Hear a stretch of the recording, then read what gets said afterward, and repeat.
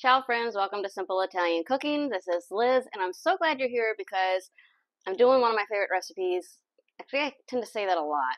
A lot of these are my favorite recipes. But anyway, we are making Italian chicken cutlets and I'm really excited because um, it's so easy to do yet people think that it must be some secret process to make it, you know, Italian and cutlets and so special and this and that but I really have to tell you, it's so it's so easy. And uh, this particular method was kind of loosely taught to me by my Sicilian mother-in-law. Um, and so I really couldn't tell you if I've changed it over the years. So I'm showing you how it is, but the original base was from my mother-in-law. So I'm just going to do um, one chicken breast for now. And that's because it's a very large one and they do take a little bit of time to do.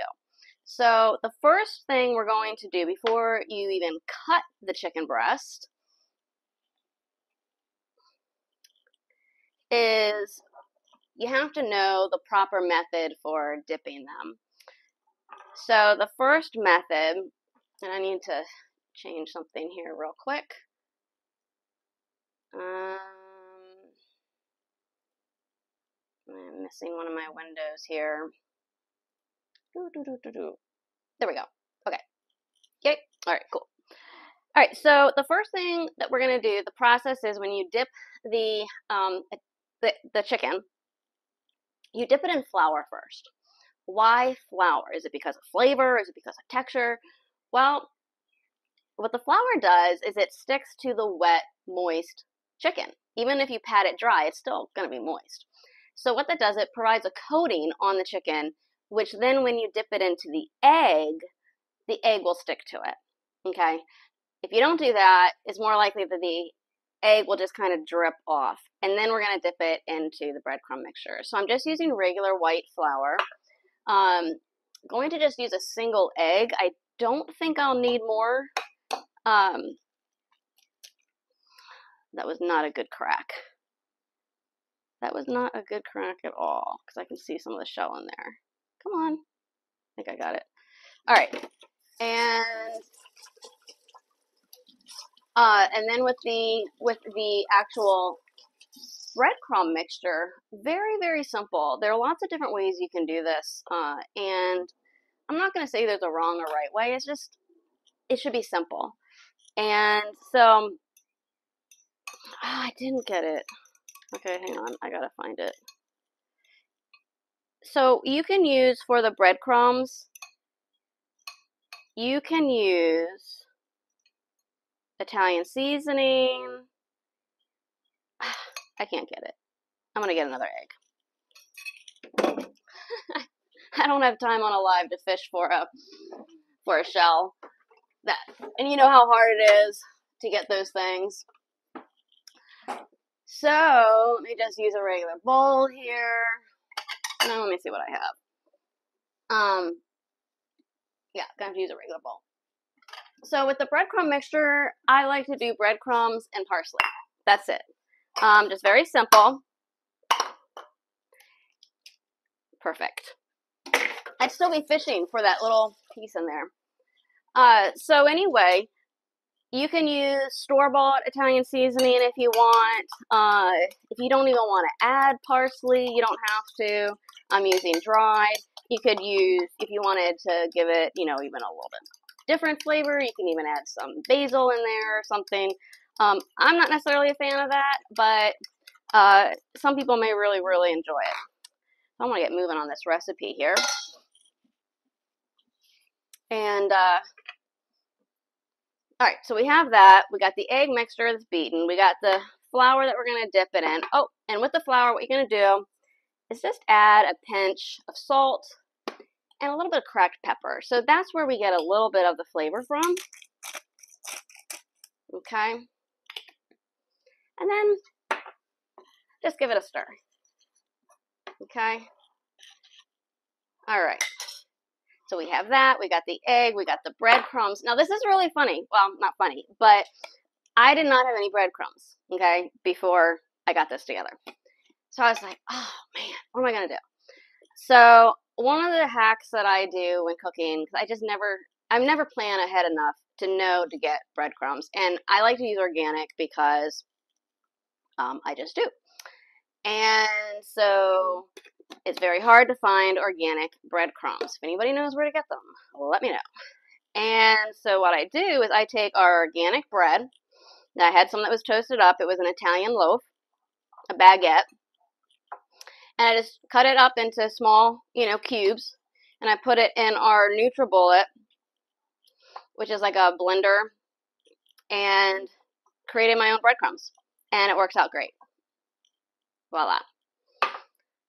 So I think it's going to have extra extra flavor because that bread was toasted and uh, was already toasted.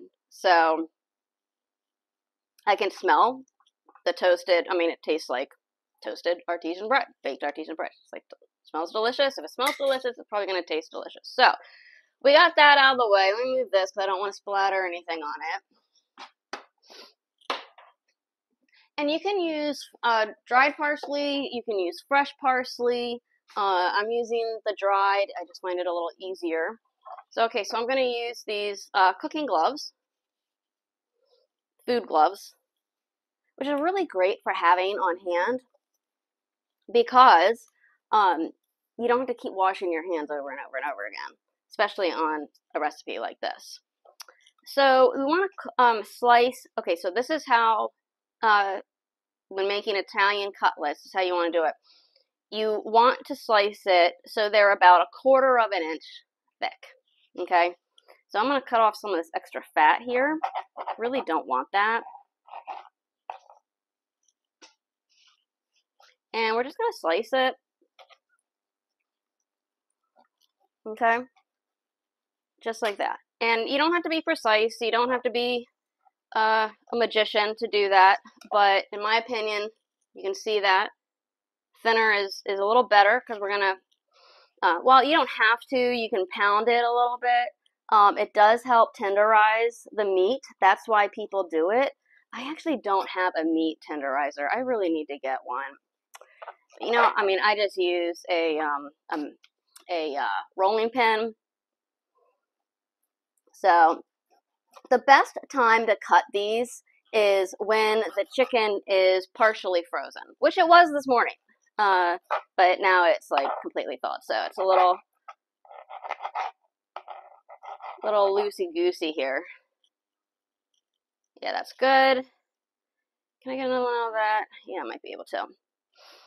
So I personally think it's better to have them a little too thin than too thick. Actually, you know what? I'm just going to cut it in half this way. And so that gives us a few right there. Um, should I do another one? I think I will. Let me just cut these up real quick. I have another one here um, that is, you know, I don't, like, that. that would be enough for me, but I definitely want to make enough for my husband because I am doing this for lunch. And I was going to do this after the video because I didn't want to take too much time. But, you know what? If you are watching this and it's not live, you can fast forward and get through this part and get on to the other good stuff. Speaking of, please, if you like easy Italian recipes, that is like what I am all about. Uh, you need to subscribe and you need to follow. So whether you're if you're watching on Facebook, go ahead and hit that follow, like, share it with some friends. And uh, if you're watching on YouTube, make sure to hit that subscribe button, get all the notifications. Okay, oh, that's so good. I can like see it now. Okay, so see how easy this is with the gloves? Voila. Okay, so now what we're gonna do um, is I do want to bang it just a little bit, and I'm not going to bang it in the open. You want to put some plastic wrap or something on it. So let me just get that real quick for you. Um, and let's see here. I think I will just grab a Ziploc bag. put on some gloves again.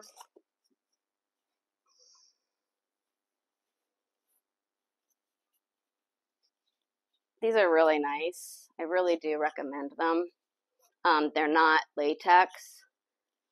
I don't know what they are. It's plastic, but they're food grade. So, okay, cool. So I'm just going to do a few at a time. So when you pound them, it does help tenderize them. And what does that mean? That is just a fancy way of saying it's not going to be tough. That's all. Really don't want it. So I'm like going to make these like into cutlet cutlets um, to where they are thin. So try and put as many in here. Not too many because they will spread. So I'm going to show this to you. Okay. And I wish I could put on zoom, but and all you're going to do is tap it like this. Okay?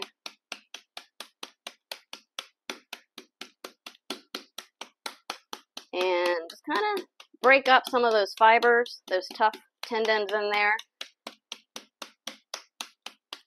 You don't necessarily need to get it like see-through,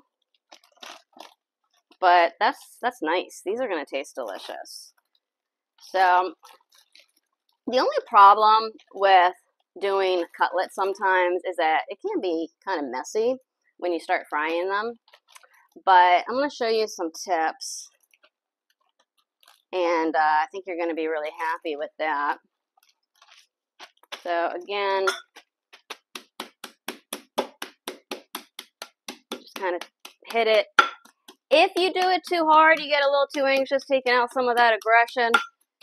Don't worry about it if it separates. Um, and, uh, you know, tears or something like that. It's like, so what? I mean, really.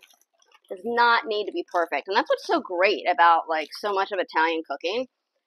So many of these recipes are just like, yeah, don't have to worry about it. Okay, so that is really good we have got the first part done and got a plate here, which is what you're going to want to. Just set it aside here. And the first thing we're going to do is dip it in, that out of the way, dip it in the flour, like this, get it coated, okay? Then we're going to dip it in the egg. I probably am going to need another one since I'm doing two chicken breasts. Okay. Just like that. And I'm going to use try and use my left hand here to change the view so that you can actually see what I'm doing here. So we have this. So I'm going to let it drip. I don't want to waste the egg. Use more than I need. Try and squeeze all this in here. And this is where it can get a little messy. So I just try and, again, using the gloves, really nice. Makes cleanup a breeze. So we're just going to do that. We're going to do it with each of these here. Just one by one. And then dip it in the egg. Again, get the excess off, but the egg is still on there. There we go. Perfect. And put it in the breadcrumbs. Okay, hopefully I have enough. If not, that's okay. I'll just cook them up later. Not a big deal. And again, in here, in here. I mean, seriously, who cannot do this? Super easy. Let me change the camera view back so that there we go. All right. So I would love to know how you guys, how all my friends out there, especially those who grew up in an Italian home, learning how to cook, how do you make your chicken cutlets? Simple like this, or do you really add a lot of other ingredients to it? Um, this was a recipe, like I said, that I learned from my Sicilian mother in law. Um, when I married her son, I did not know how to cook barely anything. Um, and uh, I knew how to cook a few things. But this was one of those recipes that I was like always impressed when she would make them. So when we would go up to uh, Ohio, when we were first married, and we would visit, she just loved to cook. How many of you have uh, grandmothers and mothers that it's just a pleasure? It's just a pleasure to cook. And we'd come up there and we'd be so tired from our drive eight, nine hour drive or wherever we were. Didn't matter what time it was. Didn't matter if we got there in the morning. Well, not the morning. Didn't matter if we got there in the afternoon. Didn't matter if we got there dinner time. Didn't matter if we got there late at night. Nina would be happy, more than happy. Whip out a few things, few ingredients, and she'd make us some of the best meals, the best, and they were so simple. And that is really uh, one of the joys of having, you know, this knowledge of recipes. I got to get another egg here while I chat with you. Um, but that is one of the joys of Italian cooking is that it's not complicated. It really actually is very easy. And um, and it doesn't take you don't have to spend hours and hours in the kitchen just to make something that tastes good. I mean, it's just it's a delight to cook when it's easy, when it's you don't have to it's not like exact measurements. You can see I haven't measured a thing here. I'm just going to go ahead and bread up these other ones. So, well, it's kind of funny. My husband told me, he, I mentioned to him a while ago, I was I really want to do chicken cutlets. And he's like, Liz, it's going to take too long. It's going to get boring. You know, it takes a while. So I was like ham hawing because I really wanted to do a live on this. So my friend Sherry, she's a chef, and she has a website. Um, trying to remember it offhand. It's uh, from Michigan to the table, and she also has a YouTube channel. Chef Sherry Ronning. Okay, I'll put a link. Um, and so I happened to be watching one of her videos because she does live shoot and she specializes in uh, Blackstone griddles. So if you like to do a lot of outdoor griddling and stuff like that, she is uh, the queen of that. And you need to really check her out. It's a, oh my gosh, the stuff that she makes, but I don't want to get too far off track here. So I was watching one of her videos, and guess what she was doing? She was doing cutlets.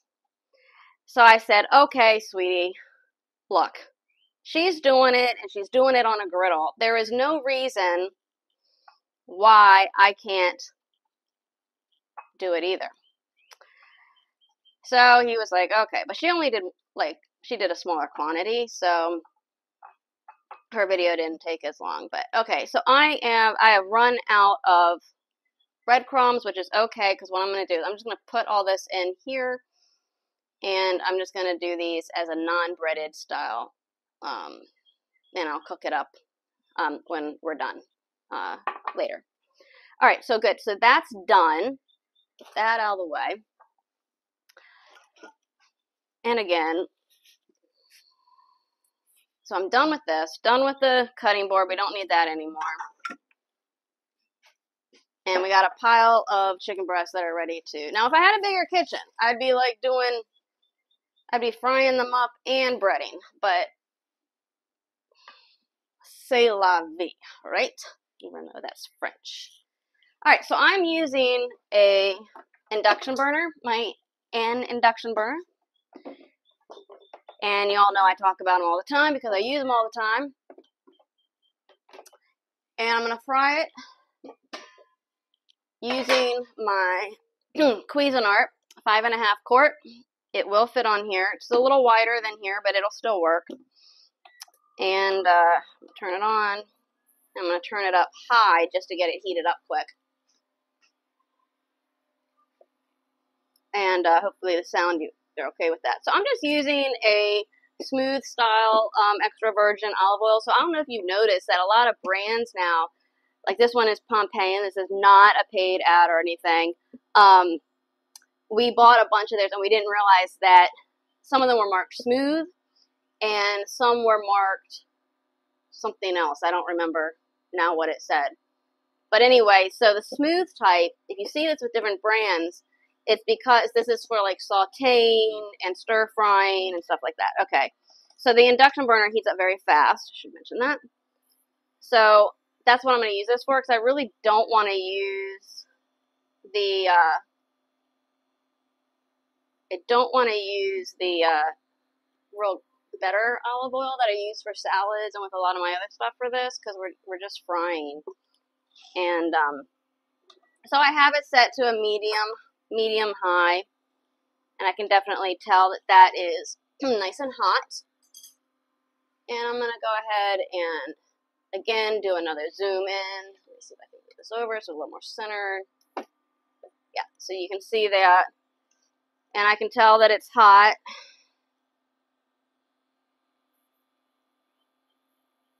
Could be a little bit hotter.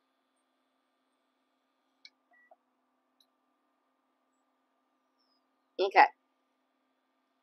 Yeah. And I can hear it immediately sizzling. So these are going to cook pretty fast because they um, are thin. And what you do is you just lay them in the pan and you get as many in there as you can. so my pan is a little warped, just a tad. And we're going to go ahead and you can really hear it sizzling, which is what you want to hear. So do not be shy with the olive oil. That is uh, one of the little secrets. And uh, I know we all want to conserve and this and that, but, you know, you really have to, um, oh, these are all big that are left, so I think I will be okay. Because what, you don't just want to, like, burn it, cook it. You want to really actually fry it in the cutlet. So it's going to take about two minutes on each side. So if you're wondering what to serve with it, I'm actually going to heat up some water. I should have had that going already. And that was um, that I'm to have some pasta on the side with the chicken cutlets, which will be really good. Um, I like to take the chicken cutlets with the pasta with some marinara sauce or any other type of sauce. And, well, a bread sauce. And then I just kind of like to mix it together. I like to serve it um, alongside. I don't serve it together, but I like to do it alongside. And then I, I just, I love the flavors of the chicken cutlets with the fresh pasta sauce. And oh, yum. And the other thing is, um, leftovers, oh my gosh, have them in a sandwich. Get some nice Italian bread. It's so good. It's just so delicious. I mean, it's great for picnics too. Um, instead of worrying about like all the bones, but if you like gonna take a typical picnic and you're gonna chicken thighs and chicken legs and drumsticks and all that kind of stuff. This is so delicious smelling. I love it. I can guarantee you that if there is any Italians out there that are watching this or will watch this, I don't even have to say, I wish you could smell this because I know that in your mind, you, you can taste it you can taste it because this is this is how your mom used to make it. This is how your grandma used to make it. So these are getting nice. I gotta do it a little bit higher. I'm gonna flip them over.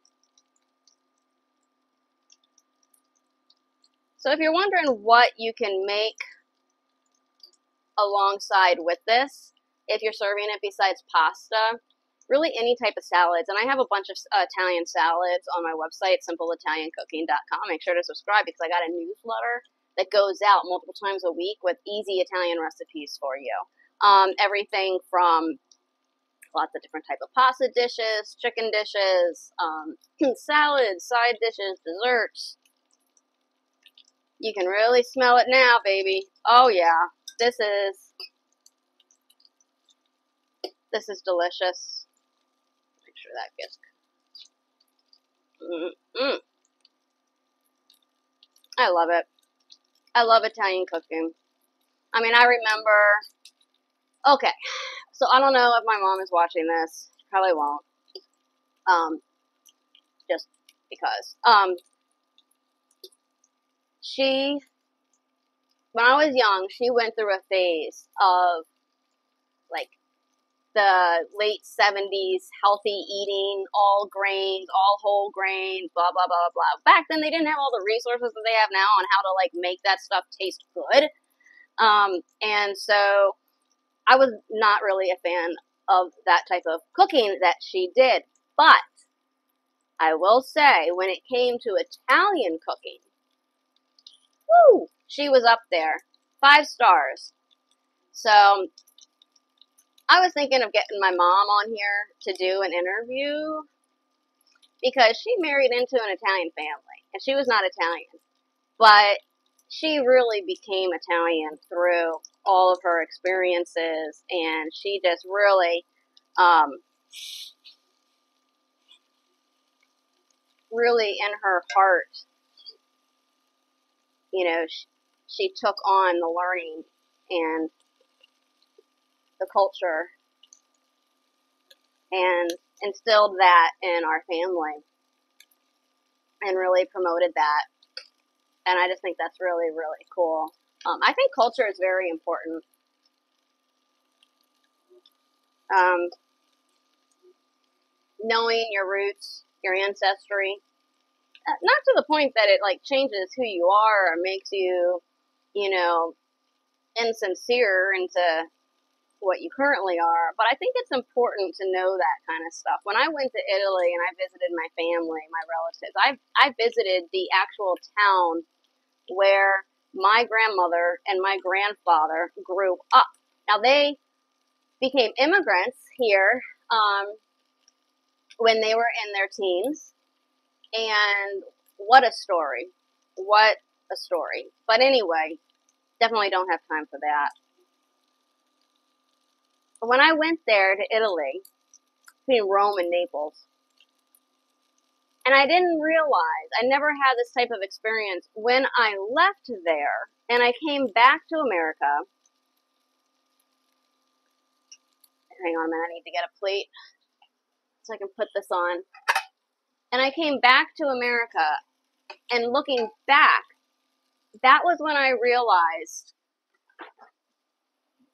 that it was like a there was a part of a part of me. This is popping now. Yeah, this looks good. And actually, I'm going to put that one back a little bit. That one I could have definitely pounded a little bit more.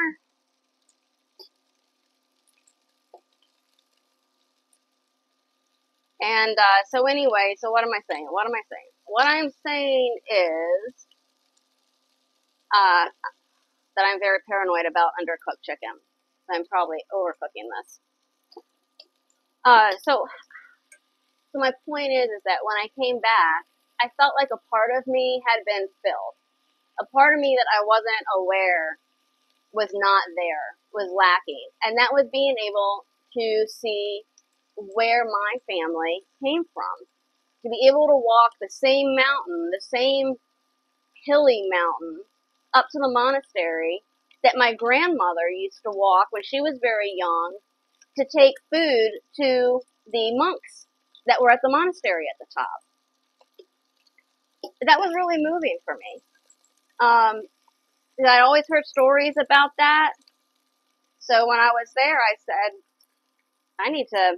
I really want to. Uh, you know, of course the monks aren't there anymore, but we did. We went up. We walked up. My cousin took me, and it was kind of surreal. I don't. I don't know if they really understood how much that meant to me, but it did. And I just think if anybody, no matter what nationality you are, I think understanding your roots doesn't mean you have to take on all the traditions, doesn't mean you have to take on all the beliefs, anything like that. But I do think that there's something to be said for having an understanding of the history of your family line. And uh, especially if you've heard stories, you know, if you grew up hearing stories about, oh, your grandpa used to do this, or he was a shoemaker in Switzerland, and he, or I guess Switzerland more like maybe he made watches or something. And anyway, you know, just hearing those type of stories, it's um when you go and you see it and you visualize it, it, it's not visualizing anymore. You're experiencing it. It's something that's tangible. It's something you walk the same roads, the same side streets, the same stones, the same bricks. You see the same. Oh, I see the same trees. You know, you see, and it's the same the same sky, the the same houses that have been there for centuries and it's really moving. It's really, really touching. I don't think my cousins really know how much that experience meant to me. I mean, I guess they did, but none of them had really ever been out of their country, and they didn't really know. And I don't know. Need some more olive oil in here. So there's a movie that we that my husband and I watched once. It was an Italian movie, and I don't remember the name of it. Maybe one of y'all could let me know. It was many years ago, and it was a story about these these men. They were, if I get the story right, like I said, it was a long time ago, and they were robbing a house. Okay, and so they were robbing the house. The people were away, but when they got there in the kitchen, the people had been making a sauce. So the men came in. They had busted through the wrong wall, ended up in the kitchen, I think it was. So they sat down and what and they they see the sauce there. So what does an Italian do? An Italian goes over, he tastes the sauce, sits down, he says, "I could use a little more olive oil." Isn't that so classic Italian? It was it was really funny. Uh, we definitely take our food very, very seriously. Okay, this is looking delicious.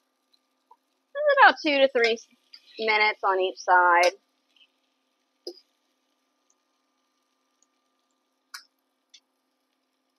Move this out of the way so you can see. I'm going to show this to you. Let me. Yep. So, there we go. That's looking good.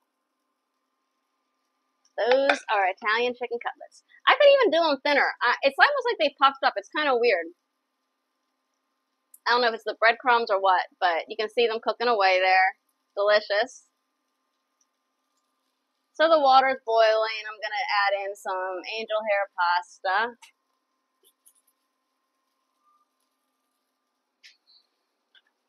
This will be ready in about three minutes by the time I get all this done. This will go great with, um, I already said this, but I'll say it again, even just a simple salad. Doesn't have to be anything fancy. Doesn't have to be anything fancy. It could just be a simple green salad. I remember when I was in Italy having their salad, and it was just like this huge bowl of lettuce, chopped up, and they didn't have anything extra special that was added in. It was just from the from the garden. But I have to tell you, it was so good. Why was it so good? I wish I could go back. But I think two things. One, fresh lettuce just always tastes better than at the store. Okay? That's just that's just the way it is. Okay, I don't care what kind you get, it's never gonna taste as good as picking it fresh. That's one. Two, the olive oil. Actually, probably number one is the olive oil, and number two is uh, the um, the quality of the lettuce. And I just have to tell you, the the the um, when you are cooking or you're doing something real simple and you want good flavor, you really got to use a good olive oil. Yeah, it looks good.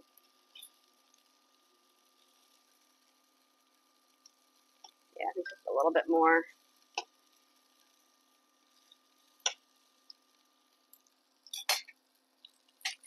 Oh, this is so good. So I'm going to taste it. And uh, I definitely know I don't want to have to have you guys hanging around, but this is this is how we make our Italian chicken cutlets. Again, if you like Italian cooking, please subscribe to the channel because I'm coming out with more recipes. I'll give you the link. Actually, if you want the printed written recipe, I'll put a link below for the for the um, for the recipe. Mm. So good. So good.